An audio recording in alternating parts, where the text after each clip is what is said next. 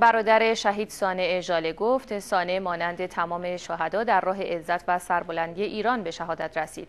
و همچنین خبر مصاحبه اعضای خانوادهش را با رسانه های بیگانه تکذیب کرد. رادیو رادیو بیگانه است. و الان ما موقعیتی نیستیم الان شما برین منزل ما رو نگاه بکنین.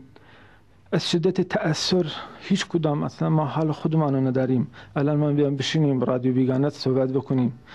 من این کار این مصاحبه رو که پخش کردن انکار می‌کنم و مطمئنم هیچ کدام از خانواده ما این مصاحبه رو انجام ندادن و نمیدن.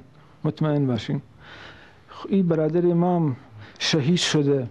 خون برادر ما مثل سایر شهداست. در راه ایران سربلندی ایران عزت ایران شهید شدن.